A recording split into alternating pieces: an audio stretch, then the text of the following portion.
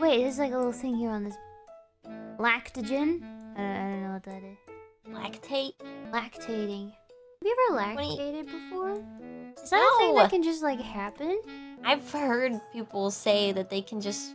What kind of question is this? I'm sorry. I was just I think I should have just said, have you heard that some people can just lactate? Not There was Some somebody people- I was in my school, and it was like a guy, and he was like, "Yeah, one day I just, you know, like uh, played around and just started lactating," and everybody was like, "Ew." don't you have to have the the the milk sac I parts? yes, it's possible The milk with nodules? the power of science.